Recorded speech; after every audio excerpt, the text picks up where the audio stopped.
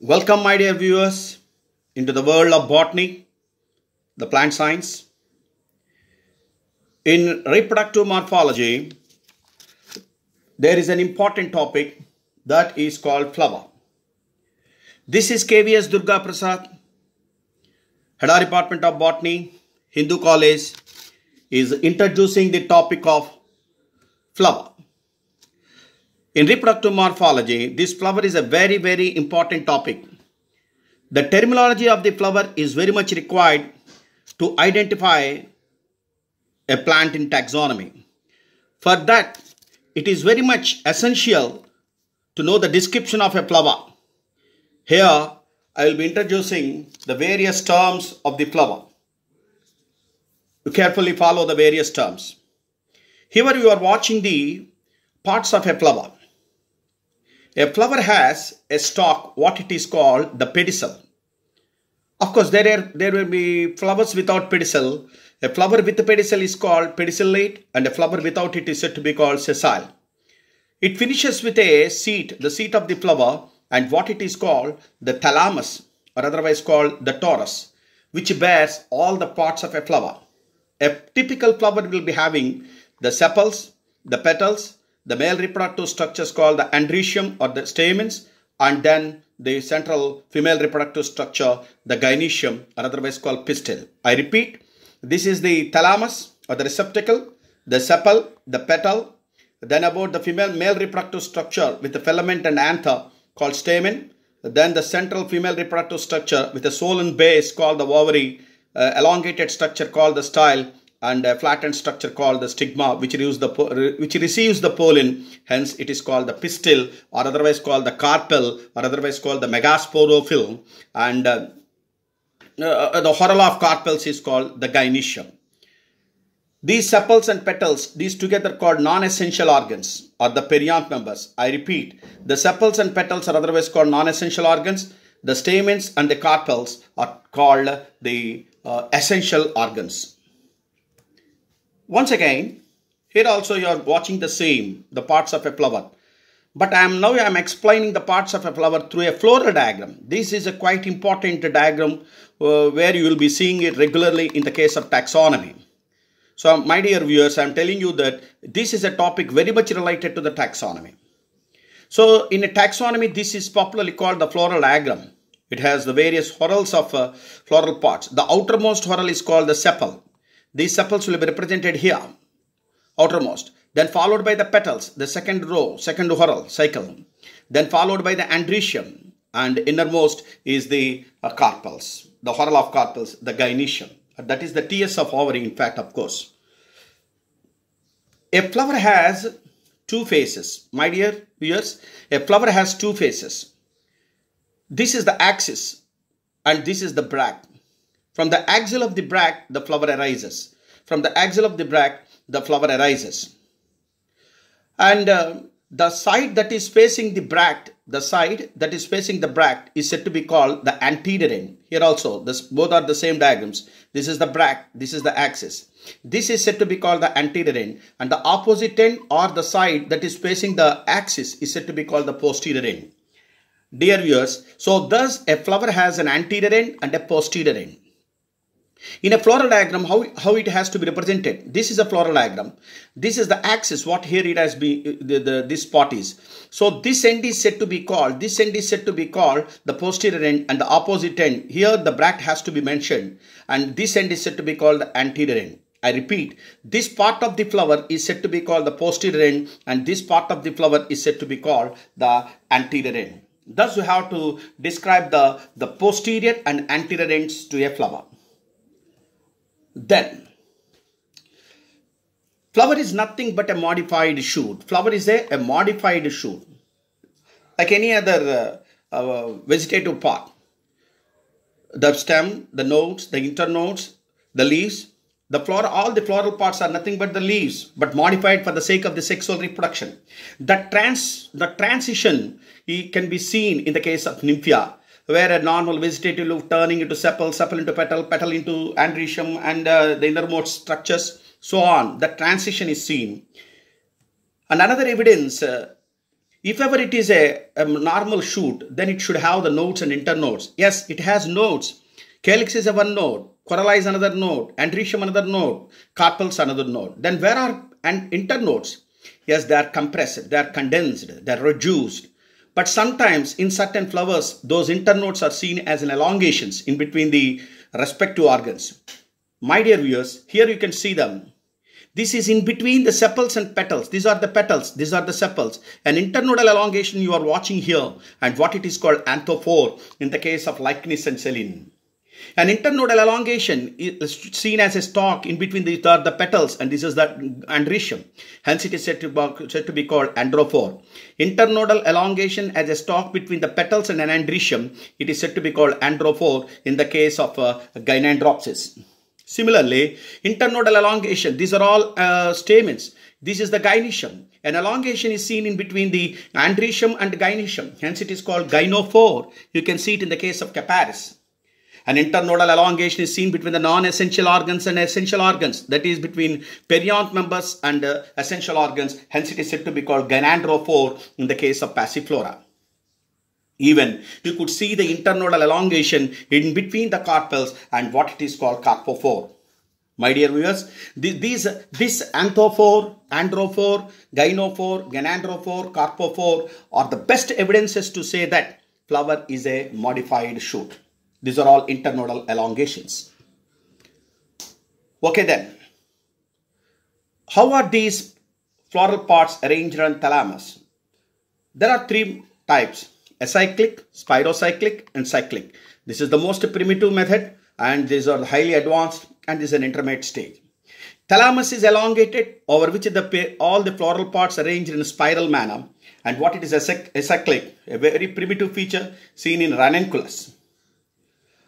And uh, here the sepals and petals are in whorls, but whereas androecium and gynoecium are arranged in spirals. Hence it is said to be called spirocyclic uh, or otherwise called hemicyclic in the case of Annonaceae members, Annona, Polyalthia, Artabotrys. But in, in, advanced conditions, it will be not like that. The sepals, the petals, the androecium and the carpels all are arranged in cycles or in whorls. Hence the such a flower is said to be called cyclic maybe tetracyclic, pentacyclic, so on. Here the sepals, the petals, the androecium and corolla and, and the carpels. Hence it is a, a tetracyclic. And uh, that is the advanced condition and you watch what you are watching that is uh, hibiscus. Then, merosity.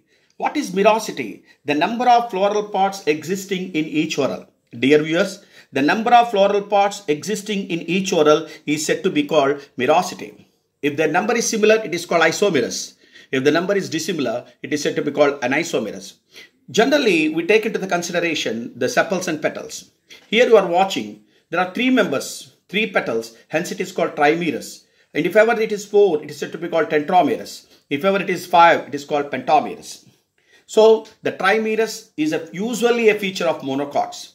This pentamerous and tetramerous, that means five sepals and five petals, or four sepals and four petals, is said to be called tetramerous and pentamerous respectively, and that is a feature of uh, dicots. Here we are watching isomerous, then iso anisomerous, trimerous, tetramerous, and pentamerous. Tetramerous is a feature of brassica. Trimerous is a feature of monocots. You can best example, you can say Allium. Pentamerous hibiscus, tetramerous brassica, so on. The merosity means the existence of perianth members in each whorl.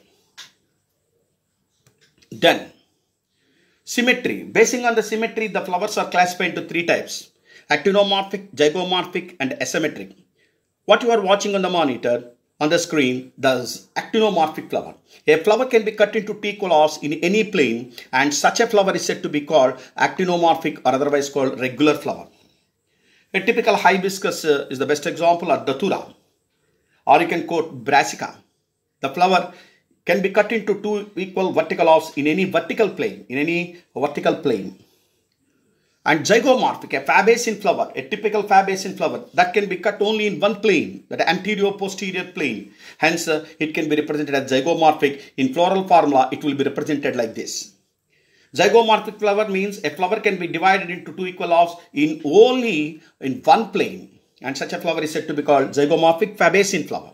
And this is a canna indica which cannot be cut into two collapse in any vertical plane. And what such a flower is said to be called asymmetric. Dear viewers, once again you are watching the same actomorphic, zygomorphic and asymmetric canna indica. Actomorphic, zygomorphic, once again the same slide. Now coming to the sexuality, this is another important aspect. Flower usually possesses both androecium and gynoecium. Such a flower is said to be called bisexual and it is a complete flower. This is a quite regular phenomenon. Uh, hibiscus and datura, both androecium and gynoecium existing in the same flower. But if ever, if ever either the gynoecium or the uh, stamen in between these two any one is absent and such a flower is said to be called unisexual flower and such a flower is said to be called imperfect flower unisexual flowers you'll be watching it again here in this case this is a bisexual flower but this is a unisexual flower with only stamens such a flower is said to be called staminate and this is a flower, once again unisexual, without stamens, only gynoecium. What such a flower is said to be called pistillate. So the unisexual flowers are of two types, pistillate and uh, staminate flowers. And I'm introducing one more term in unisexual flowers. Of course, this is a bisexual. But unisexual flowers, there are two terms, dear viewers, monoecious and dioecious. A complicated thing to remember. What does it mean? Monoecious means both staminate and pistillate flowers a plant possessing these two are unisexual flowers. They are not. It is not bisexual. This is a staminate flower. This is a pistillate flower. In floral diagram, when floral formula, it will be represented like this. This is a pistillate and this is a staminate. Both lying on the same plant. Best example is crocus, ficus. In all these things, uh, uh, inflorescence existing, euphorbia also. So in these cases, the male and the female flowers existing on the same plant, what such condition is said to be called monoecious. Best example, Cocos nucifera. But whereas the male flowers and the female flower, these are the female flowers on one plant and male flowers on another plant. And this is dioecious, dioecious. That is existence of the male and female flowers on two different plants. What that phenomenon is said to be called dioecious. We can quote the best example of Vallisneria and even also the Borassus. My dear viewers, here we are entering into another important term. Basing on the shape of the thalamus, and uh, and the existence of the gynoecium and the rest of the floral parts varies and accordingly there are three types of flower hypogynous perigynous and epigynous hypogynous perigynous and epigynous i will explain it through diagram. Here are three important diagrams. This is hypogynous perigynous and epigynous how can how we have to differentiate it? The thalamus is elongated or conical shape and gynoecium is present at the apex. And the rest of the floral parts, what I mean to say is androecium, the petals and the, and the, uh, and the calyx, they'll be below the level of the gynoecium. And what such a flower is said to be called hypogynous. Hypo means below. What is below? The rest of the floral parts are present below the level of the gynoecium. That's hypogynous, a typical datura or a hibiscus. What is epigynous? Thalamus is a deep cup shape, deep cup shape in which the gynoecium, the ovary of it is deeply inserted. The rest of the floral parts are coming above the level of the gynoecium. Hence, it is said to be called epigynous. You can see it in the case of Cucurbita, Tridacus. Thalamus is deep cup shape and ovary is deeply seated. Rest of the floral parts present above the level of the gynoecium. And thalamus is saucer shaped or concave and both the gynoecium and the floral parts lying at the same level. And what this is called perigynous. This is highly primitive and this is highly advanced condition. And here the ovary is said to be called superior. Here the ovary is said to be called inferior. Here the ovary is said to be called semi-inferior or semi-superior. And thus that is the type of flower hypogynous. Ovary is superior, ovary is inferior and ovary uh, perigynous, ovary is semi-superior and uh, ovary is uh, inferior. Those are the three things hypogynous, perigynous and epigynous. Very important uh, terms. Now let us go and see each, every, each and every part of the flower. To begin with, the bract. Bract is a small scaly appendage from whose axil the flower arises. Bract is a small scaly appendage from whose axil the flower arises. It protects the flower in bud condition. A flower with bract is called bracteate. Suppose a Fabaceae flower is having a bract, hence it is a bracteate flower.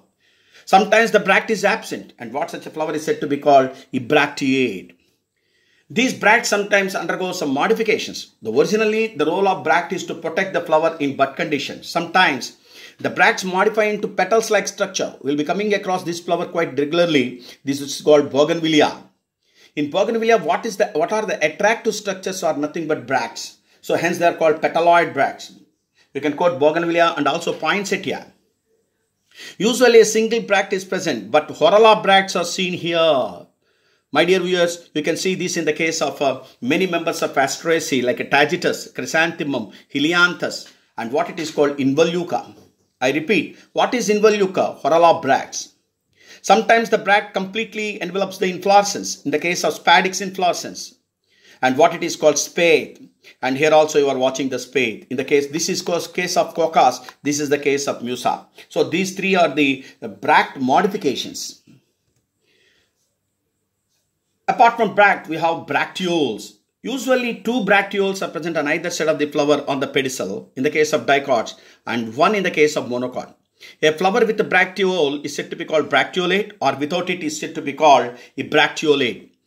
But in the case of uh, Malvacean members, this is hibiscus. These bracteoles, this is, these are the, sepals and these are the bracteoles. So whorl bracteoles are present. In the floral diagram, it will be represented like this, my dear viewers. Whorl bracteoles, here also you can watch it, is said to be called epicalyx, an important term in the case of Malvaceae. I repeat, the whorl bracteoles is said to be called epicalyx feature of Malvaceae or hibiscus. Now we are entering into the actual floral parts, the sepals and petals together called the perianth or otherwise called non-essential organs or otherwise called the uh, chlamydeae. Here it is. A flower with the perianth is said to be called chlamydeous but without it it's called chlamydeous. Yes, there are plants without sepals and petals. The best example is uh, uh, Euphorbia and poinsettia with uh, cyathium inflorescence. Each stamen is a, uh, the, here we don't find the sepals and petals. And what such a flower is said to be called? Chlamydeous. But a uh, flower with perianth is said to be called chlamydia. This chlamydia is again of two types, monochlamydeous and dichlamydeous. If it is having only one whorl of perianth, one, one whorl, no, no different differentiation, just one whorl, it is said to be called monochlamydeous as in the case of Echinacanthus and Amaranthus. But if ever it is having two whorls, it is said to be called dichlamydeous. Dichlamydeous. And if the two whorls are discriminated as sepal and petal, it is said to be called heterochlamydeous. Usually you can see it in the case of dicots. Best example, the datura and hibiscus. But in the case of monocots, especially in Liliaceae, there are two whorls of perianth, but not differentiated, not discriminated as sepal and petal. What they are called tepals. Best example, uh, Liliacean members. So accordingly, these are all various terms one has to come across. There is a chlamydeous, monochlamydeous, dichlamydeous, homochlamydeous, and heterochlamydeous. Heterochlamydeous means two whorls of perianth differentiated as sepals and petals. Two whorls not differentiated into sepals, petals. Perianth in one whorl and peri without perianth. Achlamydeous means. Here we are watching, this is homochlamydeous condition in tulipa where there is no differentiation of sepals and petals. This is heterochlamydeous condition differentiated as calyx and corolla. Here is another important topic that is called estivation. The arrangement of perianth members, let it be sepals and petals, these are sepals and petals in bud condition is said to be called estivation. I repeat, the arrangement of perianth members in bud condition is said to be called uh, uh, uh, estivation. These estivations are of various types. Here it is valvate, it is twisted. These two are uh, imbricate estivations and this is a quincuncial estivation. Let's go and watch. Uh, this is a valvate estivation where perianth members are close to one another. There is no overlapping. What such condition is said to be called valvate estivation. Valvate estivation means the perianth, let it be sepals and petals present close to one another and without any overlapping. It is said to be called valvate estivation. Here we can see one margin is overlapping the other margin. This is inside, outside, inside, outside, inside, outside, alternately it is present. And here also you can see this condition. And what this is called twisted estivation. You can see it in the case of corolla of hibiscus or even datura also. And this is a vexillary that is called otherwise uh, papilionaceous or otherwise called descendingly imbricate estivation. One is completely inside, one is completely outside and the rest in twisted manner which means here you are watching. The posterior petal is very big and is completely outside.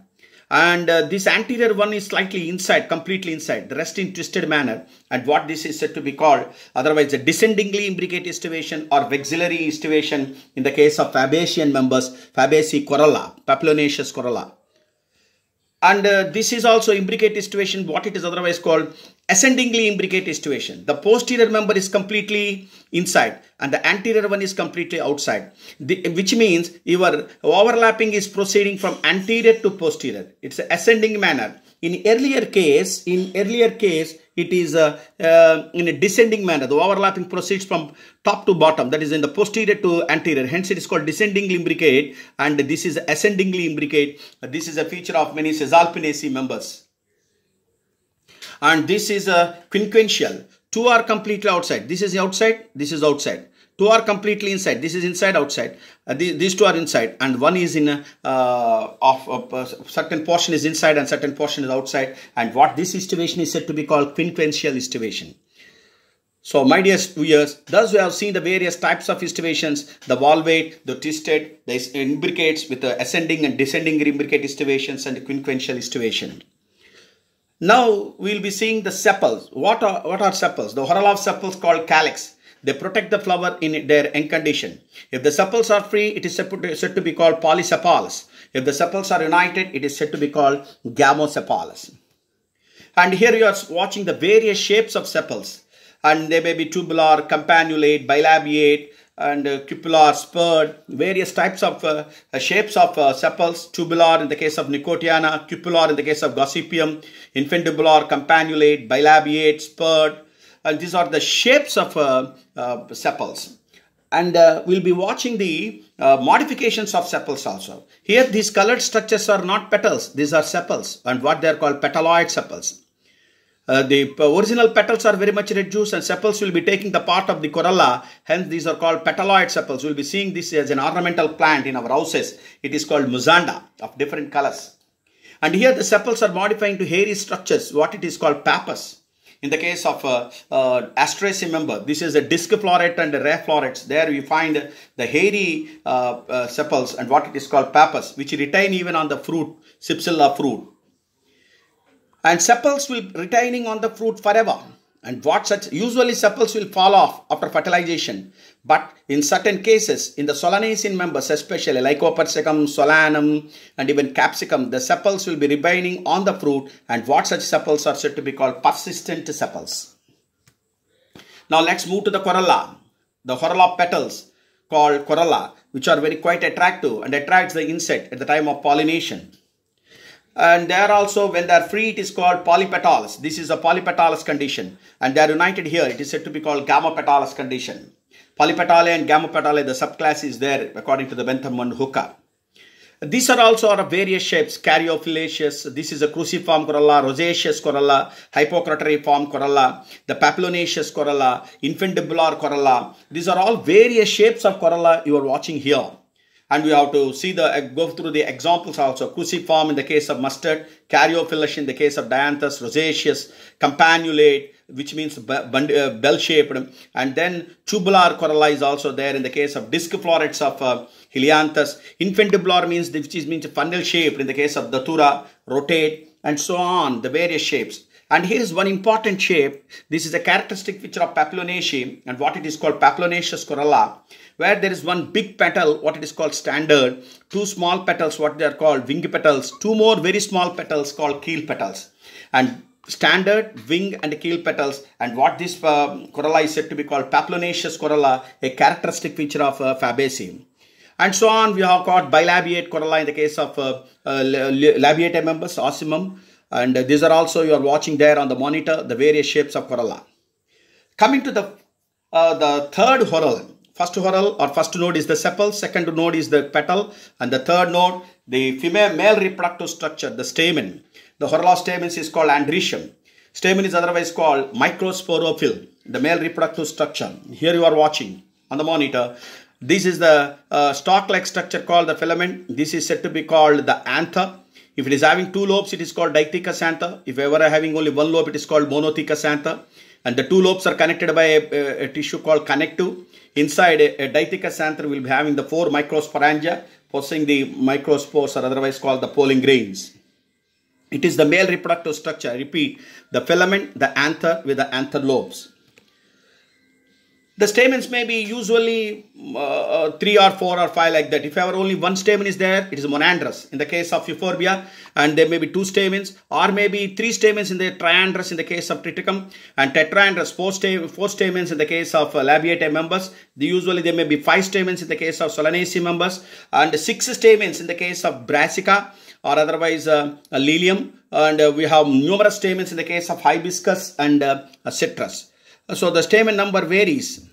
But how the filament and anther are attached, that is called fixation, various types. If ever the filament is fixed at the base, it is called basifixed. On the back of it, it is called dorsifixed. All along the length on the back, it is called adnate. And at a point, it is said to be called versatile, where the, your anther will be swinging in di different directions and what it is called versatile stamens. We have got the examples, basifixed, dorsifixed, adnate, versatile anthers. That is a fixation and types of androecium. The, uh, basing on their length, there are two types. Suppose there are four stamens, two are long, two are short. It is said to be called didynamous, characteristic feature of Labiatae or Lamiaceae. And if there are six stamens, four are long, two short, what it is called tetradynamous. Two are long, two short, two long, two short, four long, two short. This is the characteristic feature of Brassicaceae, crucifers, brassica, tetradynamous condition. Yes, fusion of stamens, it is cohesion and adhesion. Fusion among themselves is said to be called cohesion. Let's see here. The stamens unite to form as one bundle and what it is called monoadelphous, feature of uh, uh, Malvacean members and also crotalaria of Fabaceae member. Only one bundle it is said to be called monoadelphous. Two bundles, one remains free and the rest nine, overall ten, one remains free and the nine fuse to form as one bundle. It's a diadelphous feature of Fabaceae members. You can quote the example of Dolichos uh, and Tephrosia. Numerous bundles are formed that is called polyadelphous in the case of citrus. Here in all these three cases, the filaments are united and the anthers remain free. My dear viewers, filaments united, anthers free.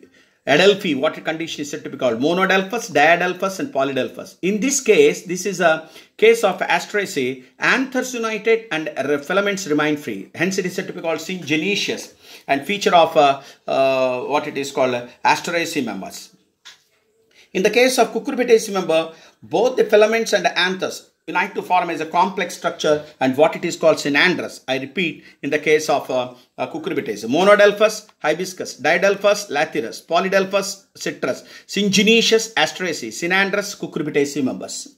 This is the cohesive nature of the stamens. Now you are watching the adhesive nature of the stamens, where stamens uniting with the some other whorl. Say for instance, stamens uniting with the petals, it is said to be called epipetalis, epipetalis, datura. Stamens uniting with the perianth, where the uh, gyne, where it has not been differentiated as sepals and petals, hence it is said to be called epiphyllous in the case of asparagus where the stamens united to the gynoecium, it is called gynostegium in the case of Asclepiadaceae members Calotropis. I repeat, this is epipetalis, this is uh, epiphyllous united with the perianth, this is united with the gynoecium, it is called gynostegium. So epipetalis, epiphyllous, gynostegium. So once again at the end, uh, the stamens dehisce and release the pollen grains. If they are uh, dehisce in a vertical manner, it is called longitudinal, usually in the case of Datura. In a transverse manner, it's called transverse. In the case of uh, uh, Malvacean members, through small pores, it is called porous in the case of solanum. And through some valves, the, the spores are released, uh, the microspores are released in what it is called valvular in the case of Casita and ranunculus. Longitudinal, transverse, porous and valvular. Once again, we got the, this is longitudinal, transverse, apical or porous and valvular. This is the connective that connects the two anther lobes. Sometimes this connective is separating the two anther lobes. This is called discrete and this is called divaricate and this where the two anther are totally separated. In these two, one is fertile, and other is sterile and this is a feature of many Lamiaceae members uh, and uh, Salvia is the best example. These are U-shaped anthers or otherwise called distractile anthers, half fertile anthers. These are all the various terms to be used here.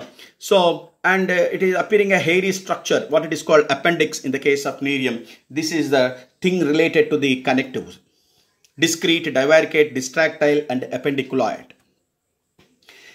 Basing on the stamen and corolla, uh, there are three terms haplostaminous, diplostaminous, and uh, obdiplostaminous. If the stamen number and uh, petal number is the same and lying alternating to the petals, stamens alternating to the petals, then this condition is said to be called haplostaminous. What that condition is said to be called? Haplostaminous. And you can see in the case of Datura, if the stamen number is double the number of petals and outer whorl is alternating to the petals, stamen number is double the number of petals and outer number is uh, what outer whorl is alternating to the petals, it is called diplostaminous case of uh, cassia.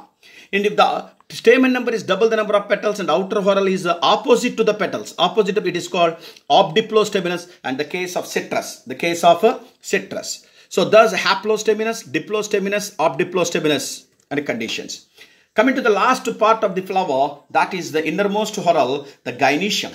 The whorl of carpels is called gynoecium. It is otherwise called pistil, otherwise called megasporophyll. It is the female reproductive structure. Having a swollen base called the ovary, elongated structure called the style, and a flattened structure called the stigma. In the ovary, we will find the ovules. If the carpels, uh, these are numerous carpels and they are all free, and what that condition is apocarpous. A carpel possesses the ovary, style, and stigma, and the carpels remaining free, and what that condition is said to be called apocarpous. A characteristic feature of primitive members, Ranunculus, Magnolia, Annona, Polyalthia, and so on. Apocarpous condition. Apocarpous condition means the carpels remaining free, which is a very primitive feature. And if all these carpels are united, then it's said to be called syncarpous condition, which is an advanced uh, feature. We can see it in the case of Solanaceae members, Malvaceae members. But here is an intermediate stage, what it is called subapocarpous.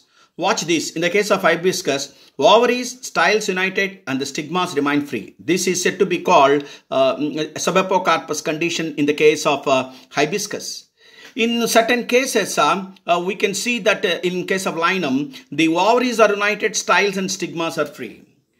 Ovaries united, style and stigmas are remaining free. In the case of calotropis, stigmas united, styles united and ovaries remaining free. So these are various types of uh, subapocarpous conditions. And also you could see one more interesting case. It's called Syngynia in the uh. In this member, ovaries united and the rest of the floral parts remaining free. And this is all the subapocarpous condition of Malvaceae, Linum, Apocynaceae members and Lonicera. That is a Syngynian case. Subapocarpous and certain portion of the carpels united and certain portion of the carpels remains free. Basing on the position of ovary, if ever hypogynous condition is there, ovary is superior. If ever the epi, epigynous condition is there, ovary is inferior. If ever the perigynous condition is there, the ovary is semi-inferior or semi-superior. Superior, inferior and half inferior. Now, in the ovary, there are ovules. These are all syncarpous conditions. More than one carpel is present. The arrangement of ovules on the placenta of the ovary, the arrangement of the ovules on the placenta of the ovary is said to be called placentation. It is of various types. This is a parietal placentation, axillary placentation, free central placentation. To start with, this is marginal. In a monocarpellary unilocular ovary, all along the length of the ventral suture, the ovules are present.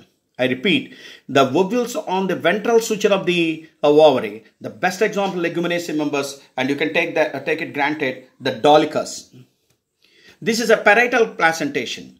In a syncarpous unilocular ovary, in a ovary, that maybe it's a tricarpellary or maybe a bicarpellary, but there will there will be only one locule. The ovules are present uh, on the inner walls where the adjacent carpels are fused. On the inner walls where the adjacent carpels are fused, and there lies our ovules. And uh, this is the case of uh, cucurbita, whereas this is the case of uh, brassica. With a false septum is formed later on and making it into bicarpellary. Originally it is unilocular.